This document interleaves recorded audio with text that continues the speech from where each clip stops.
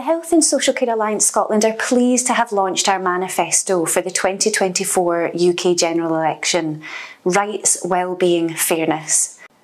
So much has happened since the last election in 2019 Brexit, the COVID 19 pandemic, and the cost of living crisis.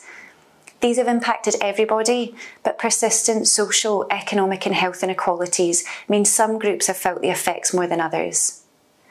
The election on the 4th of July is therefore a really crucial moment for political parties and the next UK Parliament to show they are serious about tackling those inequalities.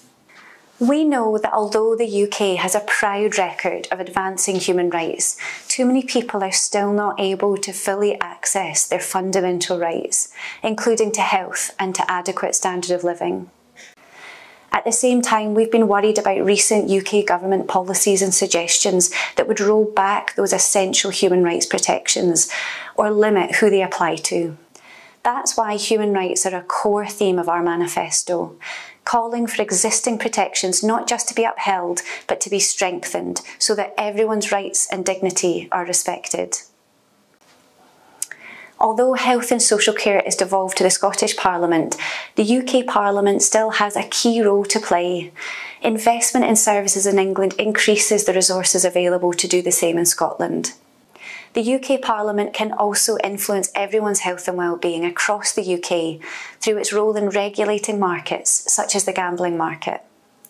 Our manifesto calls for a range of actions to improve well-being, including action to reduce gambling harms, tackle other social determinants of ill health, and improve the provision of active travel and accessible public transport. Finally, we know the UK economy has to change if it is to work for everyone, to move away from a narrow focus just on economic growth to well-being economy.